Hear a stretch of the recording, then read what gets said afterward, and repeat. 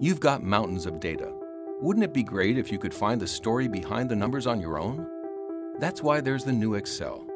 In these courses, you'll see how Excel is the best app for reviewing and editing spreadsheets at work, at home, and everywhere in between. As you enter data, Excel recognizes patterns, so it can automatically fill in the remaining info for you.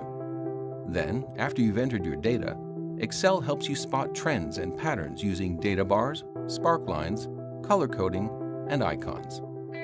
Excel even helps you summarize and illustrate your insights by recommending pre-made pivot tables and charts. And when you're all done, you can let others view or edit your work at the same time by saving to the cloud on OneDrive. You don't even need a PC. You just need a browser or the Excel mobile app. Learn how to uncover the story behind the numbers with Excel. Let's get started.